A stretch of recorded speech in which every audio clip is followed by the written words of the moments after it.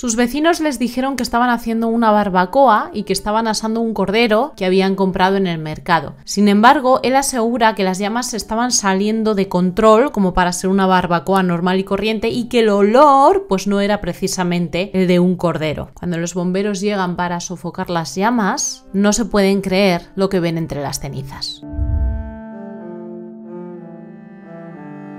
¿Qué tal mis curiositos sin censura? Bienvenidos, bienvenidas una semana más a este tu canal de casos criminales favorito. Vámonos hoy hasta Southfields, una comunidad cerca de Wimbledon, en Londres. Un tranquilo barrio donde sus gentes creían que estaban a salvo. Y es importante el poner este verbo, creían. Se conocían entre todos, allí iban a vivir familias que querían criar a sus hijos en un ambiente muy tranquilo, en un ambiente que fuera de comunidad, ¿no? Donde todos se implicaran en la vida de todos. En septiembre de 2017, sin embargo, una serie de eventos totalmente espeluznantes hicieron que los vecinos de Southfields dejaran de creer que estaban en un lugar seguro. Y todo sucedió en casa de una glamurosa pareja, una pareja que de puertas para afuera pues parecía muy millonaria, parecían muy bien puestos, ellos se llamaban Sabrina Quidier y Wissam Meduni. Eran de ascendencia argelina y de nacionalidad francesa y estaban viviendo en Londres. Ellos parecían ser de puertas para afuera una pareja, aunque por dentro en realidad, bueno, pues de pareja tenían más bien poquito. Te voy a contar más adelante. Lo que hicieron Sabrina y Wissem fue tan terrible que sacudió a todos y cada uno de los habitantes de Southfields. ¿Qué pudieron haber hecho? Que te lo estoy poniendo todo muy, muy, muy negro. Siéntate con calma porque este caso de verdad que te va a recorrer la espina dorsal con un escalofrío como nunca antes.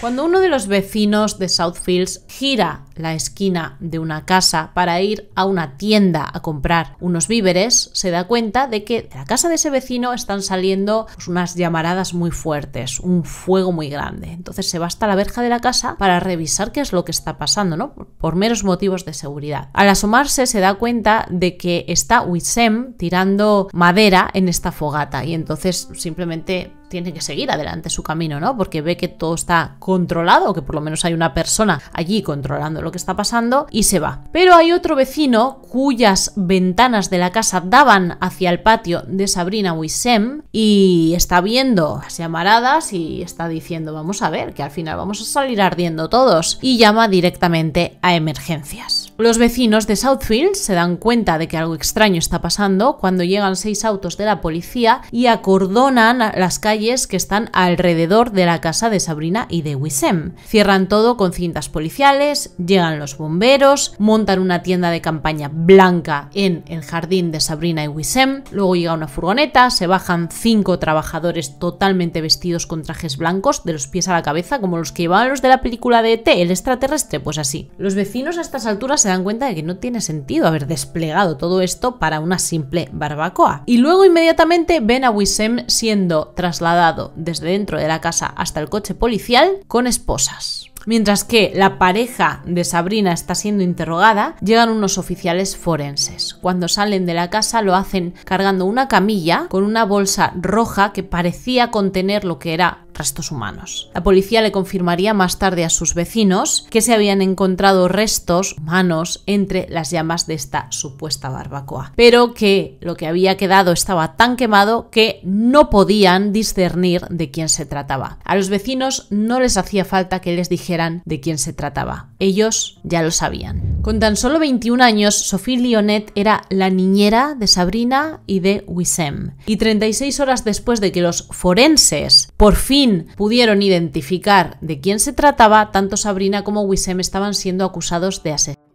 Sabrina y Wissem habían vivido en esta casa de Southfields desde el 2013 y aparentaban ser una pareja exitosa. Sabrina trabajaba como maquilladora de celebrities, también era diseñadora de joyas y de ropa, y Wissem por su parte había estudiado en la Universidad de París y se desempeñaba como analista financiero. Sabrina era la glamurosa del barrio, siempre hablando así en un tonito muy suave. Ella siempre iba perfectamente vestida, perfectamente maquillada, perfectamente peinada. Sin embargo, tenía una cara oculta. Ella era errática, era volátil, tenía muchísimos cambios de humor. Además de que tenía una obsesión que ninguno de sus vecinos conocía con su exnovio Mark Walton, que puede ser que te suene este señor porque efectivamente es una celebrity, es el fundador de la banda de chicos Boyson. Tuvieron una relación sumamente pasional, pero a la vez sumamente tormentosa. Se separaron en 2013, pero ella se obsesionó. Mientras que Mark estaba saliendo con ella, ya se había dado cuenta de que no solamente ella era volátil en el ambiente amoroso, sino que también lo era en la vida cotidiana. Por la calle le gritaba a gente sin más ni más con la que se encontraba. Ella tenía como de repente estallidos. Cuando rompieron ella desapareció por completo y él no tenía ni idea ni de por qué se había ido ni de a dónde se había ido y a pesar de todo lo que sucedió entre ellos, este final tan trágico, él estuvo pagando la hipoteca de su casa de Southfields que ascendía nada más y nada menos que a 900.000 libras durante tres meses. Pero cuando el chorreo de dinero se acabó, Sabrina entró en cólera. Ella tenía dos opciones o retomar el control sobre Mark Walton o tomar venganza, una de dos. Poco después de romper con él, empezó a hacer acusaciones falsas y muy serias contra Mark. Le dijo a la policía que estaba acosándola, que estaba amenazando a su familia y todo se demostró que era falso. Ella tenía en su cabeza que Mark Walton la estaba controlando con magia negra y así se lo contaba a las autoridades. Así que claro, las autoridades decían, a ver, esta señora está un poquito para el otro lado, ¿sabes? Más de 20 denuncias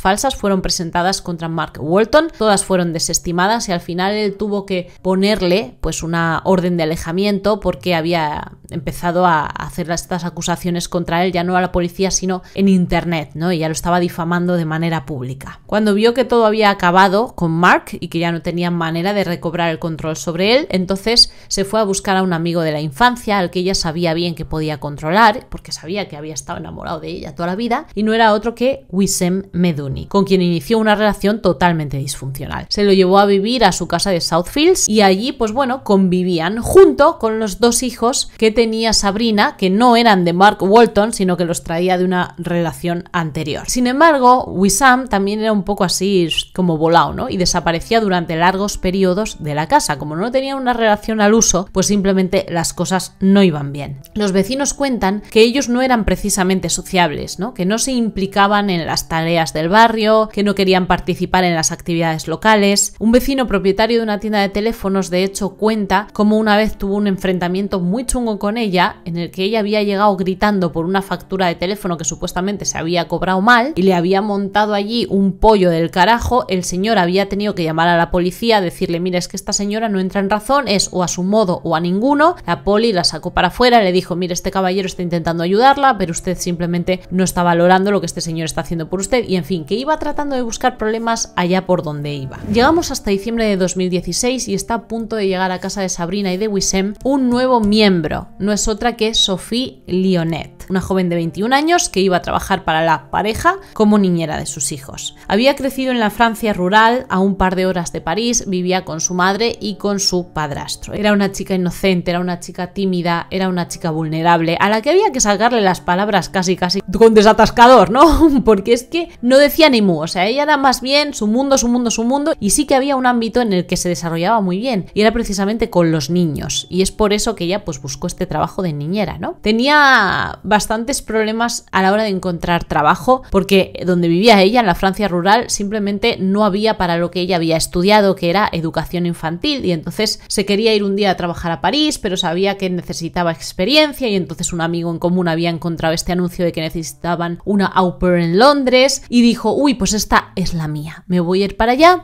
adquiero unos conocimientos también de inglés para poder hablarlo fluidamente y luego cuando regrese a Francia pues ya voy a poder pedir trabajo en París y en fin, que se hizo un poco el cuento de la lechera a la muchacha. Llegó en enero, poco después de cumplir los 20 años y empezó a trabajar para Sabrina de inmediato. Los vecinos, cuando la recibieron ahí en Southfield, al principio pensaban que incluso era menor de edad, porque es que la veían tan vulnerable, la veían tan chiquita, tan delgadita, tan timidita, que decían, pues simplemente esto tiene que ser una niñita, ¿no? Se dieron cuenta de que poca vida social iba a hacer la muchacha allí. En Southfield hay muchas niñeras, ¿no? Y todas tienen tienen una gran vida social. De hecho, se juntan entre todas para llevar a los niños al parque. Luego los fines de semana, el domingo concretamente, que es el día que les dan libre, se juntan todas para hacer actividades y en fin, que son un grupo muy unido. Pero Sophie jamás se juntó con ellas, jamás quiso ir con ellas, siempre estaba o sola o con la familia para la que trabajaba. Así que al principio los vecinos simplemente pensaron que ella era parte de la familia o que era una prima lejana, que tenía algún tipo de relación, no de trabajadora, para con la familia, porque además veían que se comportaba con los niños con demasiada paciencia, con muchísimo amor, con muchísima atención y simplemente verlos relacionarse así decían, a ver, no hay dinero que pague como esta muchacha se comporta con esta gente. Entonces decían, tiene que ser un familiar por narices.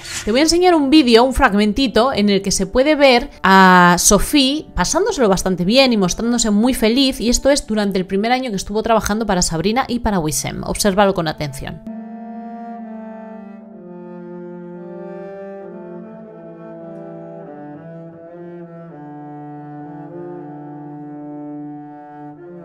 Vamos a conocer ahora a Yolanda. Yolanda es una de las amigas de Sabrina y es una de las pocas personas con las que Sophie se abrió un poquito y con ella habló un poquito. Resulta que Yolanda quería aprender francés y entonces Sophie se ofreció para darle algunas clases, a su vez Yolanda le ofreció darle algunas clases de inglés. Entonces pues como que hicieron buenas migas ahí. Sophie le había dicho que ahora ya sabía cuál era su sueño y que no era precisamente dedicarse a cuidar niños, sino que cuando regresara a Francia ella quería ir a estudiar a París cine. A los 18 meses de llegar a Francia, sin embargo, la obsesión de Sabrina con Mark Walton tomó una vuelta un poco extraña, todavía más espeluznante, todavía más rara de lo que ya te contaba anteriormente. Él se había marchado para este entonces a vivir a Los Ángeles y ahora estaba completamente fuera del alcance de Sabrina. Como ya no tenía acceso a él, pues ella volcó toda su frustración contra Sophie, contra la niñera, y dejó de darle de comer. Date cuenta de que Sophie vivía como interna con esta familia. Sabrina a estas alturas Panama Inri estaba en quiebra y hacía ya varios meses que no le pagaba el sueldo a Sofía. Así que cuando Yolanda se acercó hasta Sofía para ofrecerle un trabajo de medio tiempo en su tienda de uñas, ella era estética de uñas, Sabrina la aisló para que no tuviera más contacto con Yolanda, porque lo que quería era tenerla absorbida para ella. Yolanda, viendo lo que había pasado, se fue hasta casa de Sofía y de Wissem, tocó en la puerta, salió Wissem, le preguntó dónde está Sabrina, que quiero hablar con ella. Le dijo Sabrina no está en casa. Y dice, pero si la estoy oyendo de hablar y simplemente le cerró la puerta en las narices. Para estas alturas, Yolanda sabía que Sofía estaba, que no le daban de comer, que estaba totalmente aislada socialmente, que no estaba recibiendo ningún tipo de compensación económica por el trabajo que hacía. Vamos, que básicamente la tenía esclavizada. Y para colmo, no le permitía visitar a su madre. Uno de los vecinos la vio llorando un día y le dijo que qué le pasaba. Dice Sofía que su madre no estaba bien de salud y que quería ir a visitarla. Y entonces el vecino, que ya veía un poco el plantel, le dijo, mm, yo te pago el billete y cuando tú puedas me devuelves el dinero, que no hay ninguna prisa. Y Sofía simplemente negó con la cabeza y se marchó. En Francia, su madre estaba recibiendo mensajes de su hija a través de Facebook que le decía que no estaba a gusto donde estaba en Londres y que simplemente necesitaba dinero para volver a casa, por favor. Así que su madre le mandó el dinero necesario. Pero dos días después de hacer esta transferencia bancaria, recibe llamada de Sabrina. Una llamada rarísima. Le dice Sabrina, súper alterada. ¿Qué es que tengo unos problemas que arreglar con tu hija y hasta que no arregle estos problemas no se puede volver para Francia. Y la madre, pues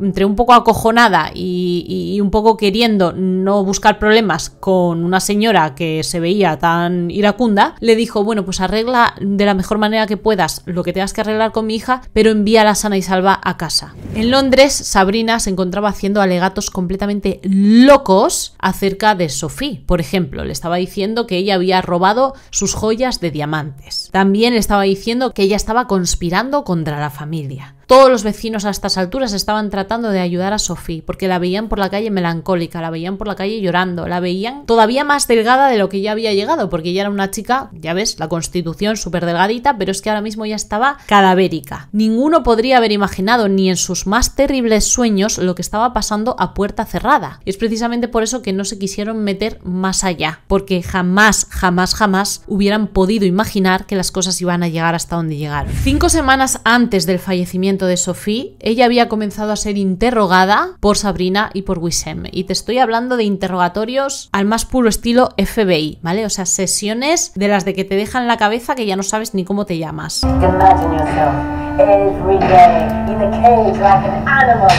Todas estas sesiones además habían sido grabadas por la propia Sabrina en la grabadora de su teléfono. Y todas estas sesiones giraban alrededor de un mismo tema, monotema absoluto, monopolio absoluto, Mark Walton. Sabrina estaba convencida de que Sophie estaba conspirando con Mark Walton, aún en la distancia, para joderle a ella la vida. Le decía que se encontraban en secreto, que planeaban cómo destrozarle la vida. A Sophie en estas grabaciones no se le escuchaba decir ni palabra, por cierto. Ella era totalmente la que controlaba la situación. Sabrina, quiero decir.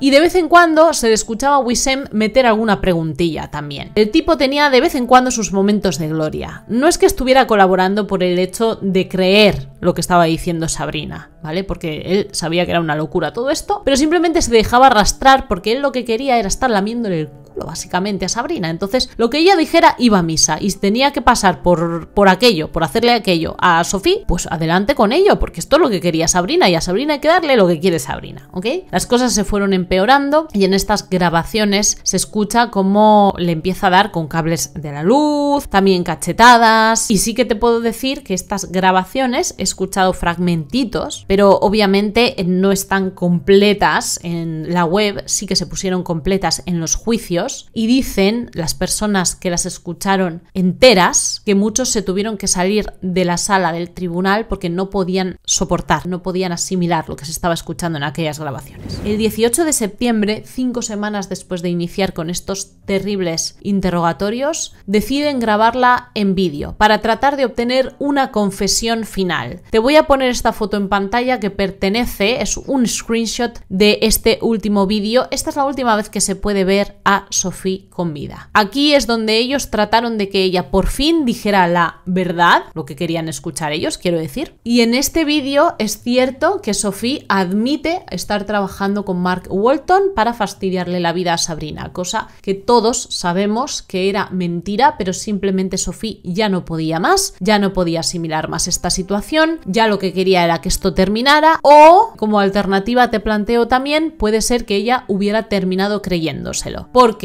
obviamente cuando el juego mental es tan terrible, uno termina ya completamente crazy y si le dicen que eres un gato, maullas directamente, ¿vale? Porque esta señorita ya no podía pensar por sí misma. Cuando se descubre su cuerpo no se sabía cómo había fallecido, pero sí que se dieron cuenta de que había sido sometida a muchas cosas, porque por ejemplo tenía cuatro costillas rotas, el esternón también roto y la mandíbula también rota. Todo esto lo tenía ya roto cuando se le grabó este vídeo. Así que con razón la podemos ver como la podemos ver, que ya prácticamente Sophie no era ni siquiera un ser humano. Fíjate, ella está totalmente perdida, fíjate, ella está totalmente vacía. Yo solamente quiero que tú trates de pensar y trates de imaginar hasta dónde habían ido estos dos estúpidos con esta muchacha, cómo tenía que estar esta muchacha mentalmente, cómo tenía que estar esta muchacha físicamente.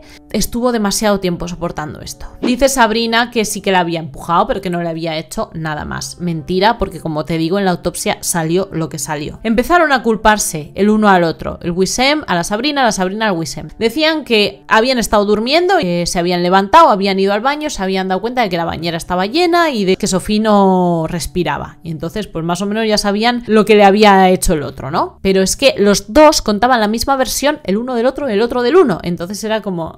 Gracias a Dios hubo un testigo que dio la estocada final a la mentira de estos dos. Y fue precisamente uno de los hijos de Sabrina, su hijo mayor, que se había despertado en medio de la noche, este sí de verdad, y había entrado al baño y había visto tanto a su madre como a Wissem zarandeando a Sofía diciéndole respira, respira. Y entonces pues aquí fue donde cayó, que por supuesto habían sido los dos, que es lo que todos sabíamos desde el principio, ¿vale? Independientemente de lo que ellos quisieran hacernos creer. En vez de llamar a la policía o a la ambulancia, metieron a Sofía en una maleta hicieron una fogata en el jardín y bueno, el resto es historia porque ya lo sabemos. Al lado, por cierto, se pusieron a hacer una barbacoa eh, alternativa con pollo para tratar de disimular el olor. Después de 43 días de intenso juicio, el juez determinó que tanto Sabrina como Wissem eran culpables del asesinato.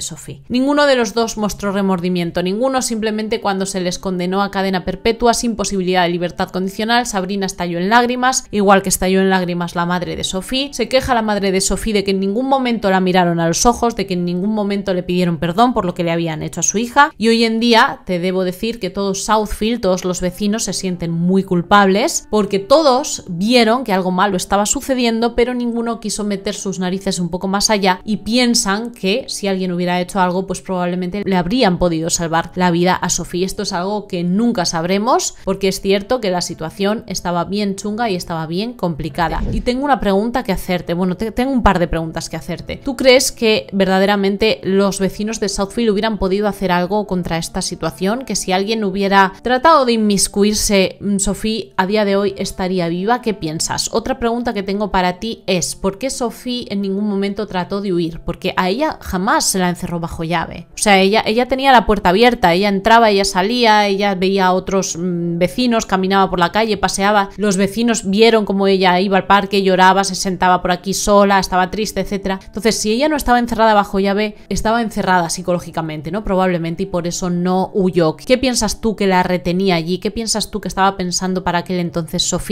Yo creo que básicamente nada porque probablemente ya tendría su cerebro completamente frito. Dos años después de haberse ido a Londres a buscar sus sueños, Sophie regresó a su ciudad natal, pero esta vez dentro de un ataúd. Y el 6 de junio de 2018 por fin la dejaron descansar en paz en su lugar de nacimiento. Déjame saber en comentarios, curiosita, curiosito, las respuestas a estas preguntas que te he hecho. Este caso sé que va a traer muchísimo debate porque sin duda todos pensamos que este tipo de cosas solamente le pueden suceder a la gente vulnerable, a la gente tímida, a la gente calladita, a la gente jovencita, pero cuando se caen en este tipo de cuando caes ante un verdadero manipulador, egocéntrico, ¿estamos libres? ¿Seremos tan inteligentes como para darnos cuenta de que tenemos que salir a tiempo? ¿O cuando nos paremos a pensar estaremos ya totalmente absortos en esta situación y totalmente controlados por esa persona? Cuídate mucho hasta el próximo caso criminal, curiosita, curiosito, espero que hayas disfrutado. Yo te mando un suculento besote donde más te guste para que pienses mucho en mí. Hasta el próximo vídeo. Esta semana tenemos otro caso, así que no te lo pierdas, por favor. Suscríbete y activa la campanita de notificaciones. ¡Chao!